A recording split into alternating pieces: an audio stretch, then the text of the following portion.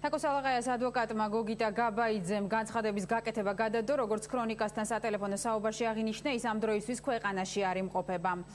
და იუსტიციის ყოფილ მინისტრს ბრალი ციხეში პატიმართა მიმართ დამამცირებელი მოპყრობის პროვოცირების საქმესთან დაკავშირებით მთავრმა პროკურატურამ წაუყენა.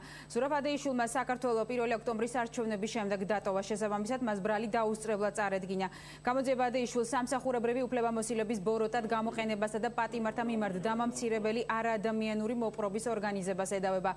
პროკურატურის მტკიცებით ციხეში წამების სამსახველი კადრები, რომელიც მედიის საშუალებით შინაგასაკვე და სამინისტრომ გაავრცელა, ზურაბადეიშვილი ყოფილის დაკვეთით დაიდგა. მას შემდეგ რაც ყოფილმა იუსტიციის მინისტრმა შეიტყო ინფორმაცია რომ არსებობდა გლდანის ციხეში გადაღებული პატიმართა ცემისა და წამების ვიდეო მასალა.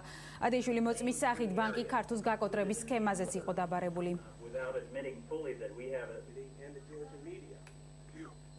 On the Washington